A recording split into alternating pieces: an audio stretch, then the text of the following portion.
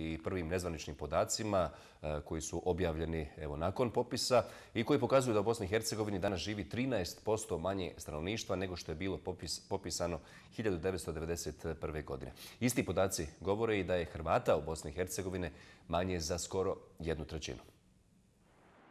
Posljednji popis stanovništva u našoj zemlji obavljen je 1991. godine. Tada je u Bosni i Hercegovini živjelo 4.377.033 stanovnika. 22 godine kasnije taj broj je uveliko umanjen. Prema prvim nezvaničnim podacima u zemlji je popisano oko 3,8 miliona stanovnika. Dakle, 13% nas je manje. Stručnjaci tvrde, ukupni zvanični broj bit će čak i manji po moje ocjeni negde između 3 miliona 700 i 3 miliona 800 bi moglo biti. Govorimo o stalnom stanovništvu.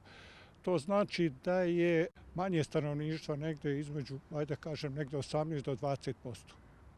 Što se tiče prisutnog stanovništva, ona će se kretati po moje ocjeni negde oko 3,5, možda manje od 3,5 miliona. Prve procjene govore i da je u federaciji popisano oko 2,4 miliona ljudi, kao i da u manjem BH entitetu živi oko 1,4 miliona stanovnika. Pretpostavlja se da će Srba biti oko 30%, Bošnjaka skoro 54%, od čega između 186 i 205 hiljada popisano u Republici Srpskoj, ali i da je Hrvata mnogo manje nego na posljednjem popisu stanovništva.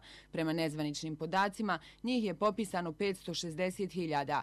Isti podaci su pokazali kazali da se jedan nezanemarljiv broj stanovnika izjasnio i kao bosanci i hercegovci. Nacionalna struktura, ona sadrži ne samo konstitutivni narod, znači bošnjake, srbe, hrvate, nego sadrži i ostale narode, da kažem, crnogorce, makedonce, ne znam, jevreje, rome i tako dalje, tako dalje, tako da se o nacionalnoj strukturi e, ne može govoriti danas. Razloga za smanjen broj stanovnika naše zemlje je mnogo. Najočitiji je činjenica da je tokom agresije na Bosnu i Hercegovinu ubijeno oko stotinu hiljada ljudi. Tu je i činjenica da BH diaspora neće ući u ukupan broj stanovnika. Veliki su uzrok što je veliki broj stanovnika napustio Bosnu i Hercegovinu. To je jedno. Drugo, zbog toga ovaj, što je smanjen e, natalitet druga stvar što je povećan mortalitet. Postali smo, dodaje Zolić, kao i ostatak Evrope zemlja staraca, ali to, kao i sve ostale podatke, tek će pokazati zvanični rezultati popisa.